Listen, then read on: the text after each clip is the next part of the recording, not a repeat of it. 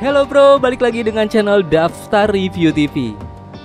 Nah, kali ini kita akan membahas mengenai alasan kenapa Kawaki bisa menghancurkan Konoha di episode 1 dan bisa mengalahkan Hokage ke-7.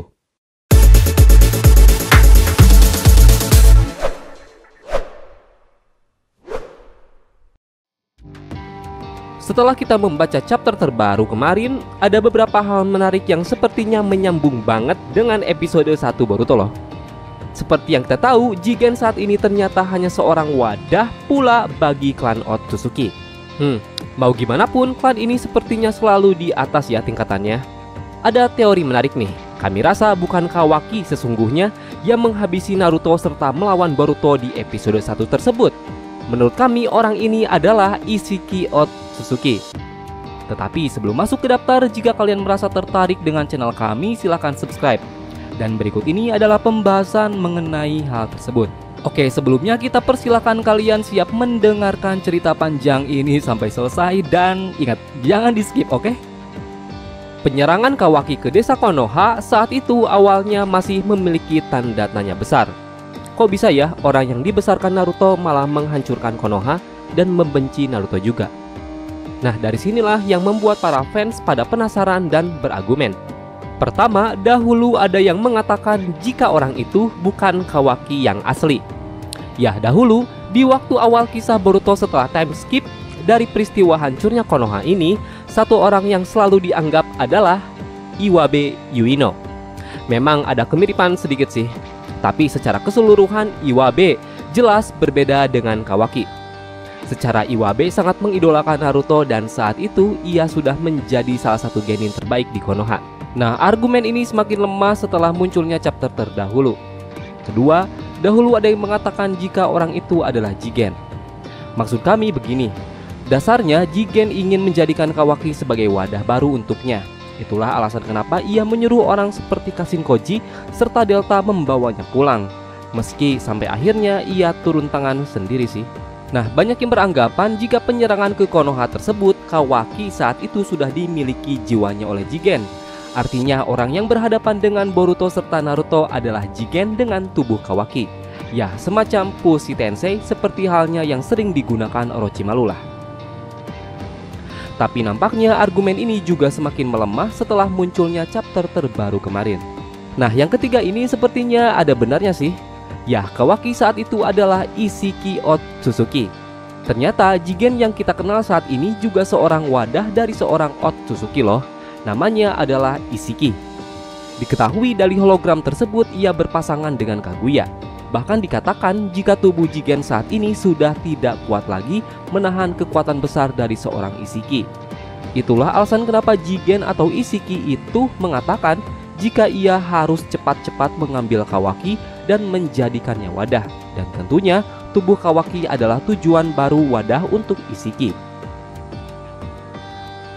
Menariknya, kejadian ini bisa berhubungan dengan episode 1 Boruto dahulu.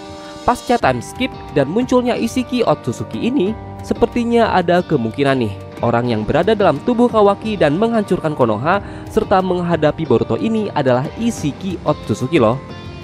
Kami punya teori seperti ini.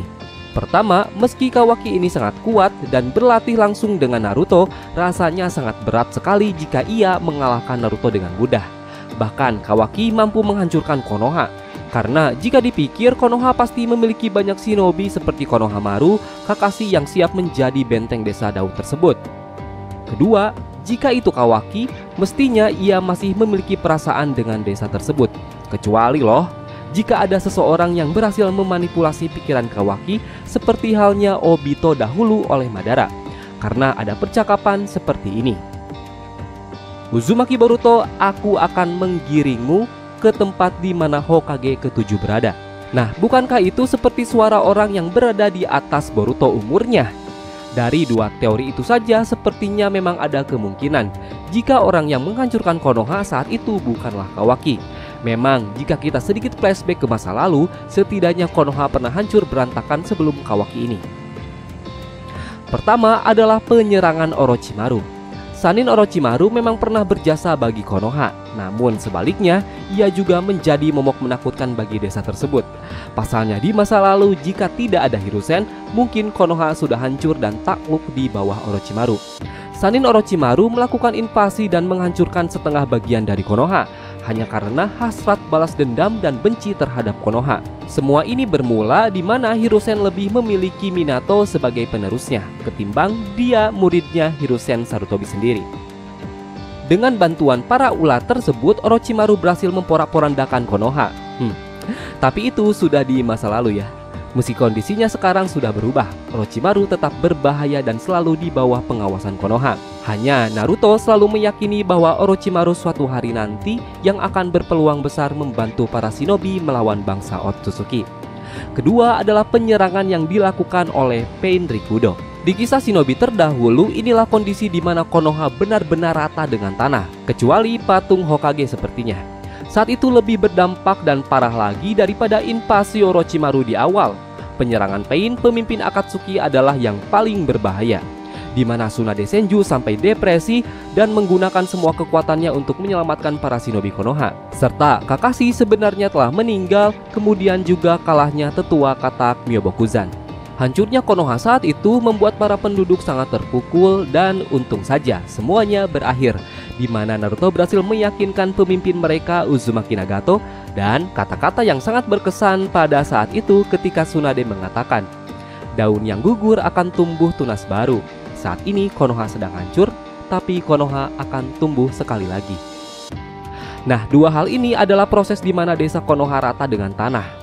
Masalahnya saat ini akan ada satu adegan lagi yang menampilkan Konoha akan rata dengan tanah lagi dan orang yang terlihat melakukannya adalah Kawaki. Tapi logikanya jika hanya Kawaki seorang diri sepertinya mustahil ia bisa menghancurkan Konoha.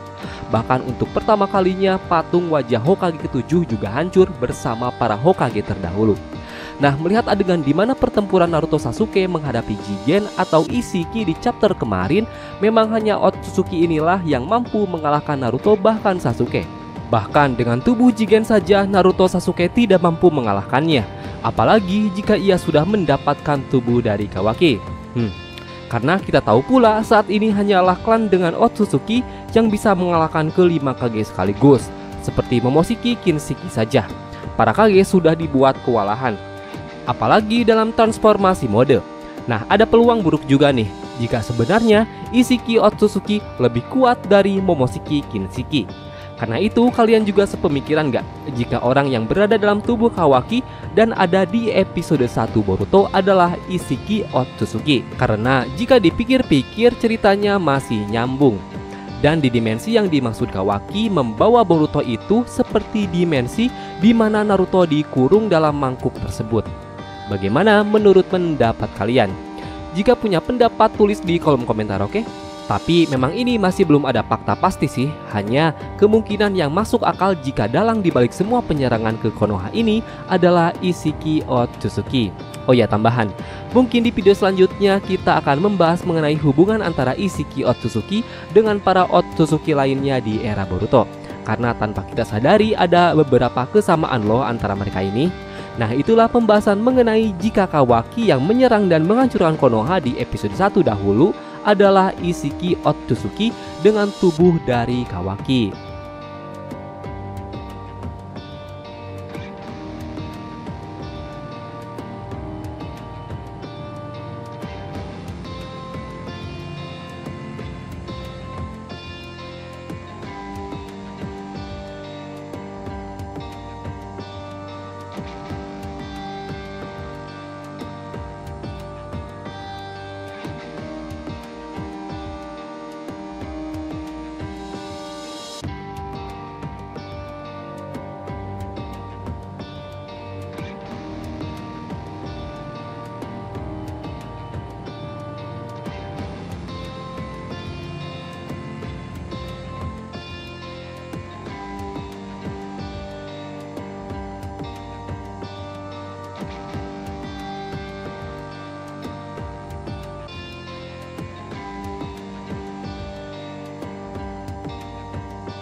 Terima kasih telah menonton video kami. Jangan lupa like dan subscribe jika menurut kalian video kami ini bermanfaat. Dan sampai bertemu di video selanjutnya and see you next time.